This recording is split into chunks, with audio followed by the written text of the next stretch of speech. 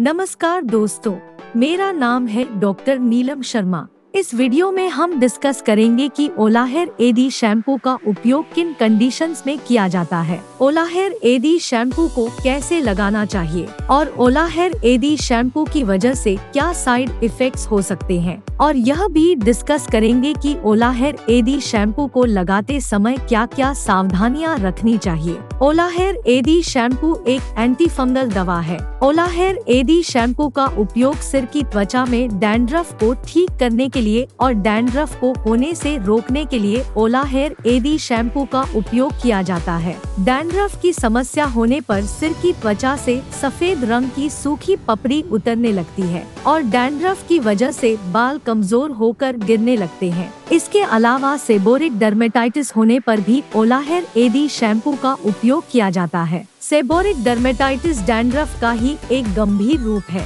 Seborrheic dermatitis होने पर त्वचा से सफ़ेद रंग की सूखी पपड़ी बहुत ज़्यादा गंभीर रूप से गिरने लगती है। अब हम डिस्कस करेंगे कि ओलाहेर एडी शैम्पू को कैसे लगाना रिकमेंडेड होता है। ओलाहेर एडी शैम्पू को लगाने से पहले आपको अपने बालों और सिर की त्वचा को पानी से अच्छी तरह से भिगो लेना चाहिए। उसके बाद थोड़ी सी मात्रा में ओलाहेर एडी शैम्पू को लेकर सिर की त्वचा में अच्छी तरह से लगाना चाहिए और हल्के हाथ से मसाज करनी चाहिए। और ओला हेयर एडी शैम्पू के झाग बनने के बाद ओला हेयर एडी शैम्पू को तीन मिनट से लेकर पाँच मिनट तक सिर में लगाकर छोड़ देना चाहिए और उसके बाद ओला हेयर एडी शैम्पू को पानी की मदद से अच्छी तरह से धो लेना चाहिए। डैंड्रफ को ठीक करने के लिए डॉक्टर शुरुआत में पहले आठ सप्ताह तक ओला हेयर एडी शैम्पू को सप्ताह में दो बार लगाने की सलाह दे सकते हैं। ओलाहेर एडी शैम्पू को बंद करने के बाद डैंड्रफ की समस्या दोबारा हो सकती है। इसलिए डैंड्रफ की समस्या को दोबारा से होने से रोकने के लिए डॉक्टर आठ सप्ताह बाद ओला हेयर एडी शैम्पू को दो सप्ताह में एक बार लगाने की सलाह दे सकते हैं। और यदि किसी व्यक्ति को डैंड्रफ की समस्या बहुत ज़्यादा गंभीर है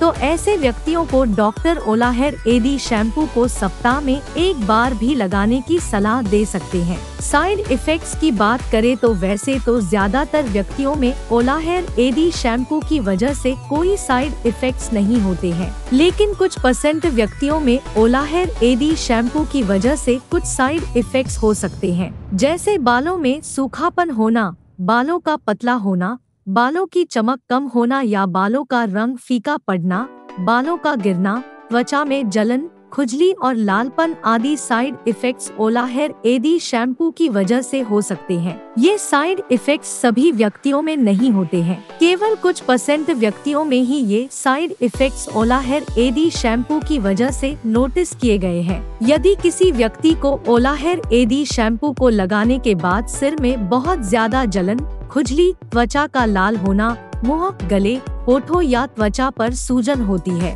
तो आपको तुरंत ही डॉक्टर से परामर्श लेना चाहिए, क्योंकि ये लक्षण एलर्जिक रिएक्शन के हो सकते हैं। अब हम डिस्कस करेंगे कि ओला हेयर एडी शैम्पू को लगाते समय क्या क्या सावधानियाँ रखनी चाहिए। यदि आपके सिर में कोई चोट लगी हुई है, या आपके सिर में कोई घाव है तो आपको ओला हेयर एडी शैम्पू को नहीं लगाना चाहिए, और ओला हेयर एडी शैम्पू को केवल सिर की त्वचा पर ही लगाना रिकमेंडेड है। 12 साल से कम उम्र के बच्चों के लिए ओला हेयर एडी शैम्पू को लगाना रिकमेंडेड नहीं है। ओला हेयर एडी शैम्पू को आँख, नाक और मुँह के किनारों के पास लगाना रिकमेंडेड नहीं होता है। यदि गलती से ओला हेयर एडी शैम्पू आँख, नाक या मुँह में चला जाता है तो आपको ओला हेयर एडी शैम्पू को तुरंत ही पानी की मदद से धो लेना चाहिए। बालों में ज़्यादा केमिकल से भरपूर हेयर कलर का इस्तेमाल करने की वजह से भी डैंड्रफ की समस्या हो सकती है। इसलिए ज़्यादा केमिकल से युक्त हेयर कलर का उपयोग न करें।